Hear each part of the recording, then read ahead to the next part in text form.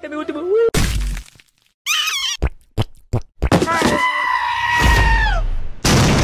Listen, I'm going to need you to trust me.